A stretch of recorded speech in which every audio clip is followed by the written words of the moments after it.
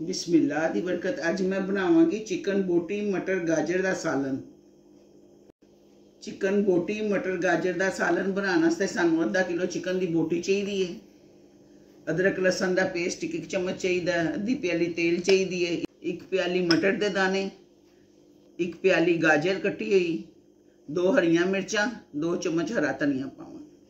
ਦੋ ਟਮਾਟਰ ਇੱਕ ਪਿਆਜ਼ ਕਟਿਆ ਪਾਵਾਂਗੇ ਖੁਸ਼ਕ ਮਸਾਲਿਆਂ ਵਿੱਚ ਪਾਵਾਂਗੀ ਮੈਂ ਸਾਬਤ ਜ਼ੀਰਾ ਪਾਵਾਂਗੀ ਇੱਕ ਚਮਚ ਕਾਲੀ ਵੱਡੀ ਇਲਾਚੀ ਪਾਵਾਂਗੀ ਇੱਕ ਨਮਕ ਇੱਕ ਚਮਚ ਪਾਵਾਂਗੀ ਪੀਸਾ ਧਨੀਆ ਇੱਕ ਚਮਚ ਪਾਵਾਂਗੀ ਹਲਦੀ ਇੱਕ ਚਮਚ ਪਾਵਾਂਗੀ ਸੁਰਖ ਪੀਸੀ ਮਿਰਚ ਇੱਕ ਚਮਚ ਪਾਵਾਂਗੀ ਕੁੱਟੀ ਮਿਰਚ ਅੱਧਾ ਚਮਚ ਪਾਵਾਂਗੀ ਪੀਸਾ ਧਨੀਆ ਅੱਧਾ ਚਮਚ ਪਾਵਾਂਗੀ ਚਲੋ ਫਿਰ ਬਣਾ ਲਈਏ ਕੜਾਈ ਮੈਂ ਅੱਗ ਉੱਤੇ ਰੱਖ ਦਿੱਤੀ ਹੁਣ ਮੈਂ ਪਾ ਦਾਂਗੀ ਚਿਕਨ ਬਿਸਮਿਲ੍ਲਾ ਦੀ ਬਰਕਤ ਨਾਲ ਹੀ ਮੈਂ ਤੇ ਪਾਣੀ ਦੀ ਪਿਆਲੀ ਪਾ ਦਾਂਗੀ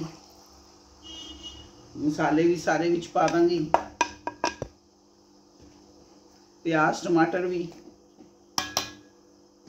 ਇਹਨੂੰ ਮਿਕਸ ਕਰਾਂਗੀ ਮਸਾਲੇ ਮੈਂ ਮਿਕਸ ਕਰਤੇ ਨੇ ਹੁਣ ਮੈਂ ਟਕਣਾ ਦੇ ਕੇ ਇਹਦੇ ਤੇ 10 ਮਿੰਟ ਅਸੇ ਦਮ ਵਿੱਚ ਰੱਖ ਦਾਂਗੀ ਬਿਸਮਿਲ੍ਲਾ ਬੇਟਾ ਜੀ ਸੇਕ ਲੱਗ ਗਿਆ ਚਿਕਨ ਨੂੰ ਬਹੁਤ ਖੁਸ਼ਬੂ ਆ ਰਹੀ ਹੁਣ ਅਸੀਂ ਪਾ ਦਾਂਗੇ ਅਦਰਕ ਲਸਣ ਦਾ ਪੇਸਟ ਠੀਕ ਹੈ चिकन का पानी खुश्क हो गया बेटा जी हूँ असं पा देंगे तेल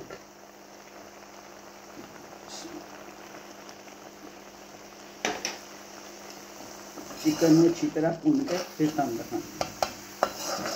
बेटा जी चिकन अच्छी तरह भुज गया हूँ मैं पा दी मटर नाल ही मैं गाजर पा दी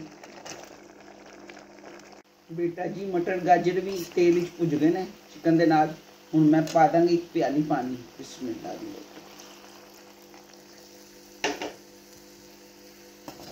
तेन पंद्रह मिनट वास्ते ढकना दे के दम च रखनी है बिस्मिल्लाह माशाल्लाह बेटा जी बहुत खुशबू आ रही है मटर गाजर दोनों गल गए सालन साडा अच्छा तैयार हो रहा हूँ मैं पा देंगी धनिया हरिया मिर्चा ਤੇ ਇਹਨੂੰ ਫਿਰ ਅਸੀਂ ਰੱਖ ਦਾਂਗੇ 5 ਮਿੰਟ ਸੇ ਦਮ ਵਿੱਚ ਫਿਰ ਉਸ ਤੋਂ ਬਾਅਦ ਤੁਹਾਨੂੰ ਦਿਖਾਣੀ ਹੈ ਠੀਕ ਹੈ बिस्मिल्लाह की बरकत माशाल्लाह बेटा जी बहुत खुशबू आ रही है तो साडा चिकन बोटी मटर गाजर का सालन ਤਿਆਰ ਹੋ ਗਿਆ ਮਾਸ਼ਾਅੱਲਾ ਹੁਣ ਮੈਂ ਤੁਹਾਨੂੰ ਡਿਸ਼ ਆਊਟ ਕਰਕੇ ਦਿਖਾਣੀ ਬੇਟਾ ਜੀ ਚਿਕਨ ਬੋਟੀ ਮਟਰ ਗਾਜਰ ਦਾ ਸਾਲਨ ਮੈਂ ਡਿਸ਼ ਆਊਟ ਕਰਤਾ ਤੁਸੀਂ ਵੀ ਇਸ ਤਰ੍ਹਾਂ ਬਣਾਉਣਾ ਦੁਆਵਾਂ 'ਚ ਯਾਦ ਰੱਖਣਾ ਅੱਲਾ ਹਾਫਿਜ਼